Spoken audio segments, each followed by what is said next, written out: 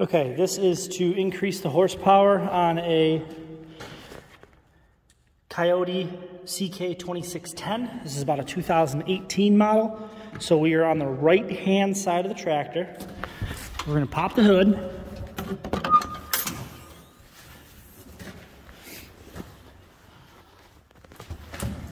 And right in here, so here's your filter. There's this circle shiny thing, and then right below that, there's this little piece. It's about two inches long, and it spins. It's just a cap, a cover for the actual fuel screw. So I'm not doing, I'm just spinning it. Nothing's happening. It's just a cover.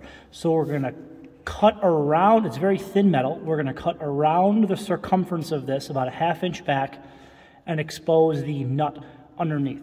So we'll pop off this little wiring harness here just to get that out of the way. And then we're gonna cut this off. Okay, so here's this part again, right? This is just that piece that just spins. Here's the other part of it right here. I used an 18 volt handheld angle grinder and I was able to get it in here just like that and just spin it around because again, this cap just spins. So you keep spinning this cap and cutting around it. Now, see what's inside of it. You don't want, you only want to cut about an eighth inch deep around there just to get this cap off. Okay, so after you cut this piece off, there's still another piece remaining after it, right? So you do need to get that whole piece off, and it doesn't just, I thought it just slid out. So you do need to, you know, continue to cut it. See these two grooves in there? That's what's holding it in. So what I did is I took this little cutter on the end of a drill, which you could use a Dremel, I just don't have one handy, right? So start that slit down it as far as you can before you're gonna hit the actual block. Like you don't wanna start cutting into here, right? And then I just took a screwdriver and just started tapping it, you know, and just continuing to like tap, tap, tap, tap until it broke open and then you just wedge it open and just pry it off. It took some time and whatever. So now you have your screw there. So now we're gonna start the tractor up and now this spins, right? It's but right now that's where it was. It was basically horizontal. So that, you know, we're gonna probably back it out two turns, but we're gonna start the tractor, warm it up, and then we'll play with that.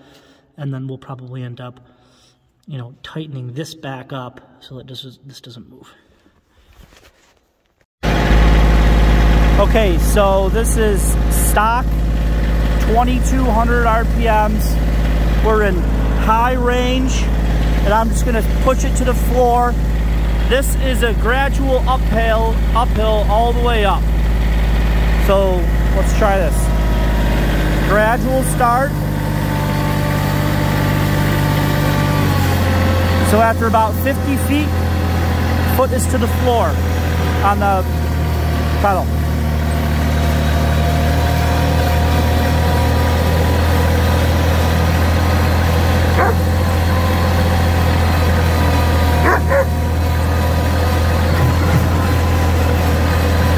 So now we come to a steeper section right here. And quite a bit.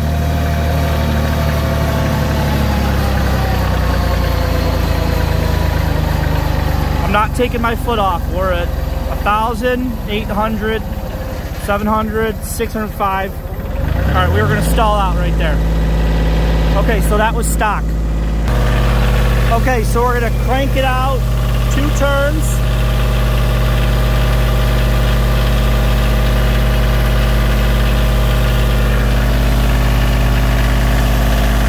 So that's stock right there. One. Two full turns. Same test, 2200 RPM, same starting point. Gradually put it to the floor. Okay, after about 50 feet, we're to the floor.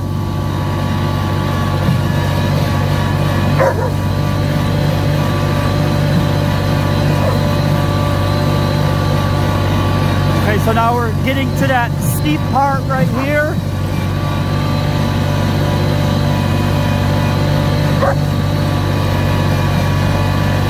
This is where it started to bog before. Right here is where it stalled out. And then this is the steepest part that we didn't make it to before.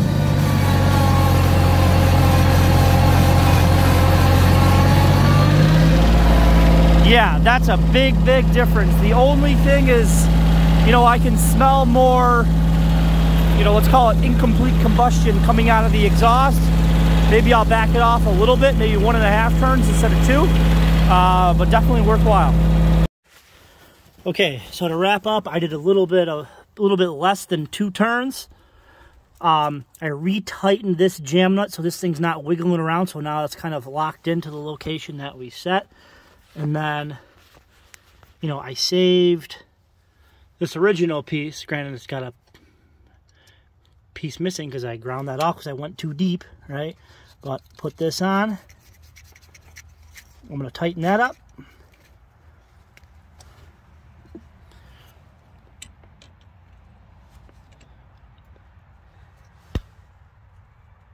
That's it.